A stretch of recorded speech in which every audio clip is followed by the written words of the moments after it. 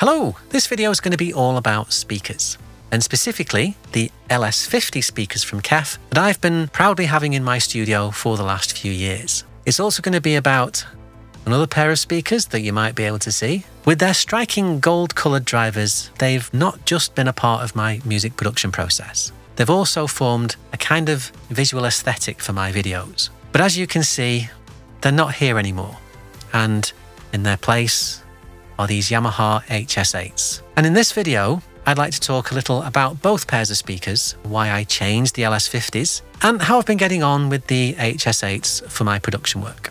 So the LS50s, they are primarily designed for the hi-fi market, but they can and they do work really well as a studio monitor. And that's largely thanks to their UniQ driver, which mounts the tweeter in the center of the bass driver. And it's really effective, especially at delivering a balanced and even sound across a broad listening position, which makes them work well in the near field position. Now, as I say, I've had my LS50s for a few years and really enjoy using them, and they do sound lovely. But I was beginning to have a couple of issues. Firstly, being primarily designed for enjoyment, they can sometimes smooth over certain details and therefore mask mixing mistakes. And I guess as my production skills have increased, so have my demands on a studio monitor. But secondly, they're also passive, which means they need an external amplifier to drive them. And crucially, in my case, that amplifier had no electromagnetic shielding. And with all of the equipment that I've now got in here, it was picking up a lot of annoying interference noise. And that's where the HS8s come in because they're self powered, they are effectively shielded, and they're designed first and foremost for near field monitoring in the studio.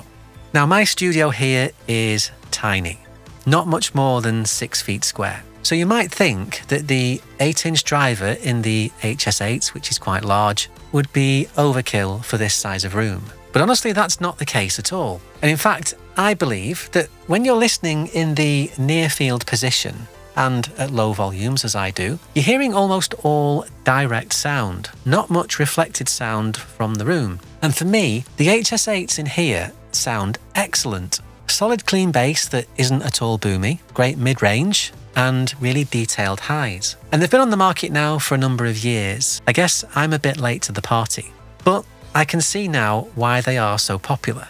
Are they any better than the LS50s as a studio monitor? 100% yes, they are. They're brilliant. But are they any better as a hi fi speaker for listening in comfort from greater distance? No, not in the slightest. One small gripe I have with the HS8s is the bright white LED at the front, which is actually quite annoying. I've covered mine up with a couple of layers of purple light gel just to tone them down a little bit, and I think it's okay now.